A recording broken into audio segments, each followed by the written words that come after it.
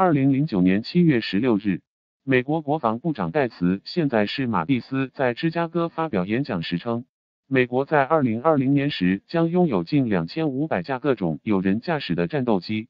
其中大约一千一百架是 F- 杠二二和 F- 杠三五等五代先进战斗机，而中国届时仍不具备第五代战机，而且到二零二五年时，美中两国间的差距将会进一步拉大。美军将拥有一千七百多架第五代战机，与中国可能装备的少量同类战机相比，仍然拥有绝对的优势。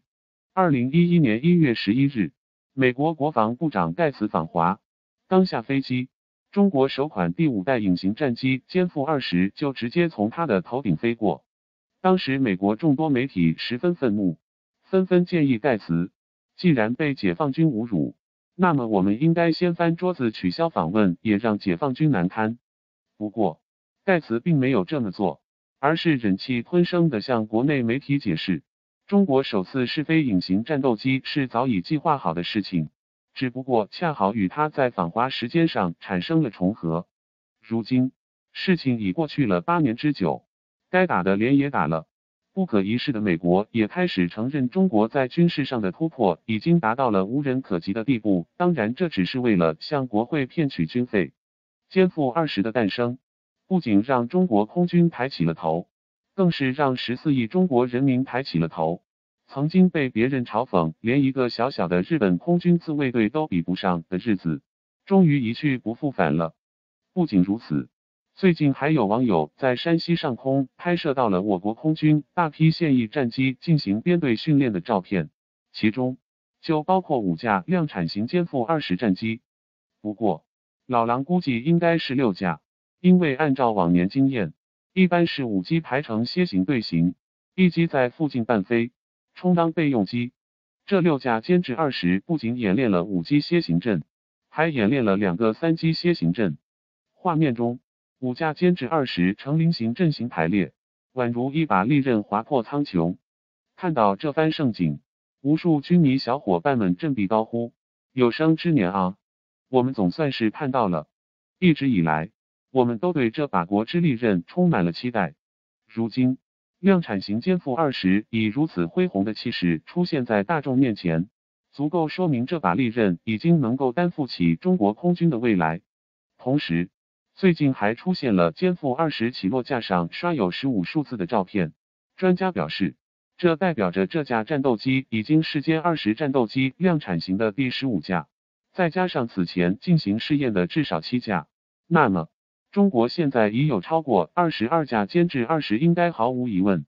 当然，歼负二十之所以能够如此迅速的量产，这得归功于中国的科学家们打破了西方的封锁。曾经被美国一度垄断的黑科技脉动总装生产线技术被中国研制成功。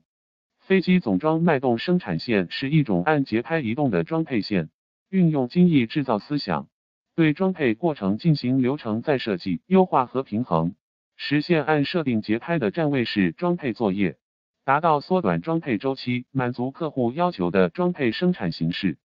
据专家估计。作为未来中国空军的主力战机，歼负二十量产将高达五百架，并且第三条歼负二十生产线已经启动，到今年年底第四条生产线也将开始试产。这样一来，明年就会有四条生产线全速生产歼负二十战机。按照每条生产线一个月生产一架来计算，五百架的目标最多十年就能都完成。那时候估计中国海军的航母都不止三艘了。而且电磁弹射和核动力也会安装上去。其实，早在二零一六年，中航工业成飞成都飞机工业集团的总装脉动生产线就已经投入使用。从 JH 杠 7A 到歼二十，再到运九的脉动生产线，有了这样稳扎稳打的基础，运二零型战略运输机的脉动生产线也就隐隐呼之欲出了。想想就有点小激动呢。不过，在中国军工取得如此优异成绩的背后，还有一群默默付出的科学家们，他们才是中国真正的明星。